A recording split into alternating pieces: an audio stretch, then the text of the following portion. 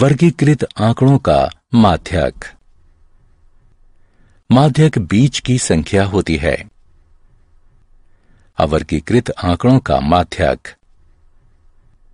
मान लीजिए, प्रेक्षणों की संख्या n है।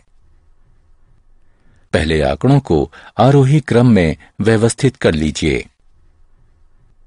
अब, यदि n विषम है तो n जमा एक बटा दोवा प्रेक्षण माध्यक होगा। यदि n सम है तो n बटा दोवें तथा n जमा एक बटा दोवें प्रेक्षणों का औसत माध्यक होगा। वर्गीकृत आंकड़ों का माध्यक। पहले हम माध्यक वर्ग ज्ञात करते हैं। इसके लिए सभी वर्गों और n बटा दो की संचयी बारंबारता ज्ञात करेंगे।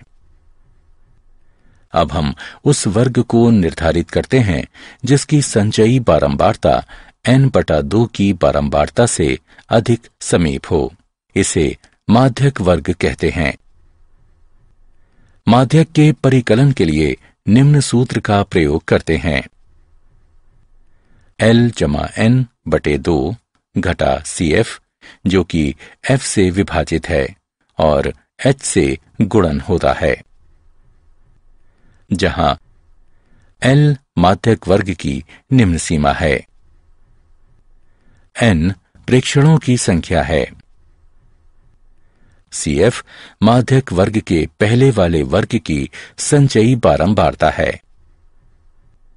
एफ़ माध्यक वर्ग की बारंबारता है। एच वर्ग माप यानी सभी अंतराल बराबर माप के हैं। माध्य, माध्यक और बहुलक का अंतर संबंध इस प्रकार है। तीन माध्यक बराबर बहुलक जमा दो माध्य।